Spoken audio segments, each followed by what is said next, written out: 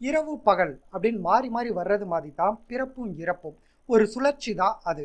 பிறக்காம இருக்கிறவங்க மட்டும்தான் இரவாத நிலையை வந்து அடைய முடியும். மரணம் அப்படிங்கிறது ஒரு முடிவுரையே கிடையாது. மீண்டும் ஒரு பிறப்பு அப்படிங்கிறது இருக்குது ஞானம் பெற்றவங்களுக்கு மட்டும்தான் மறுபிறப்பு இல்லை அப்படிங்கிறது நம்மளோட நம்பிக்கை. நாணயத்தில் மறுபக்கம் இருப்பது போல வாழ்க்கையிலையும் மறுக்கரை அப்படிங்கிறது இருக்குது புத்தரோட முகம் முழுவதும் பிரகாசம். மூடிய கண்களுக்குள்ள சுடர் தெரிப்பது போல ஒரு பிரமை பார்க்கிறவங்க எல்லாரையும் பரவசப்படுத்துவதற்காகவே தோன்றியது போல அமர்ந்திருந்தார் புத்தர். பொழுது புலர தொடங்கியது மெல்ல கதிரொளி எங்கும் பரவுவது போல அவரிடமிருந்து ஒரு மெல்லிய அமைதி எல்லா இடத்துலையும் பரவிட்டு அந்த அமைதியை தனதாக்கியது போல அதனுள் மூழ்கி அமைதியாக வீற்றிருந்தார் அவர்.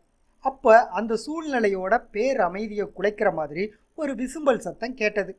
அலைகள் அடுத்தடுத்து வந்து மோதுவது போல அந்த தேம்பல் ஒளி திரும்ப திரும்ப செவி மேலே தாக்கவே அவரோட கண்கள் மெல்ல மலருது. எதிரே ஒரு அபலை பெண் கண்ணீர் மழுக நின்றுட்டு இருந்தாங்க. அவங்கள பார்த்தோன்னே புத்தர் வந்து என்ன? அப்படின்னு கேட்காமலே கேட்கறது போல மலர்ந்த அவருடைய விழிகளை கண்டதும் அழுதபடி மண்டியிட்டாள் அந்த தாய். சுவாமி பறிகொடுத்து விட்டேனே. என் வாழ்வின் ஒரே விளக்காயிருந்த என் அன்பு மகன் மாண்டு விட்டானே. இனி நான் யாருக்காக வாழ்வது? எனக்கு இனி யார் பாதுகாப்பு? அப்படின்னு கதறி அழத் தொடங்குறா. தொடர்ந்து நெடுநேரம் அவளது பிரலாபத்தை அமைதியாக செவிமடித்தாரு புத்தர். அவர் முகத்தில் நிர்சலனம். இறுதியா அவரது கனி இதழ்கள் திறந்தன.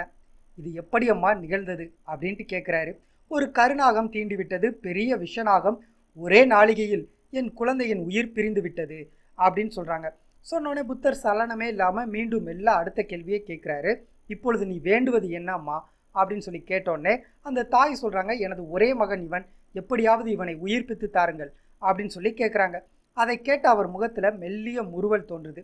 அதைத் தொடர்ந்து அவசியம் செய்யலாம் அப்படின்னு சொல்கிறாரு இதை கேட்டோடனே அந்த தாயோட அழுக சட்டு நின்றது பரபரப்போடு முகத்தை துடைத்து கொண்டாள் அவள். புத்தர் சொல்றாரு உன் மகனை நிச்சயம் உயிர்ப்பித்து தருகிறேன். அதற்காக வேண்டி நீ போய் சாவு இல்லாத ஒரு வீட்டிலிருந்து ஒரு பிடி கடுகு வாங்கி வா. அது போதும். மற்ற எல்லாவற்றையும் நான் பார்த்து கொள்கிறேன். அப்படின்னு சொல்கிறாரு அவள் வந்து ஓட்டமும் நடைமா விரைகிறா வீடு வீடா ஏறி இறங்குறா ஒரு பிடி கடுகு தானே அவசியம் தருகிறோம் அப்படின்னு எல்லா வீட்லேயும் சொல்கிறாங்க அடுத்த கேள்வி வந்து இந்த வீட்டில் சாவு உண்டா அப்படிங்கிற கேள்வி வச்சோடனே எல்லாரும் வகை வகையான கதைகளை சொல்ல ஆரம்பிக்கிறாங்க. மகன் இறந்து மூன்று மாதம் ஆகுறது சென்ற வருடம் தான் கணவரை பறி கொடுத்தேன் போன வாரம் தான் தாயார் காலமானாங்க. இப்படி எல்லா வீட்லேயும் ஒரு சாவு வந்து இருந்திருக்கு. வீடு வீடாக ஏறி இறங்கியவ உண்மையை உணர்ந்தாள் உலகமே ஒரு துயர மேடையாக இருக்கிறது.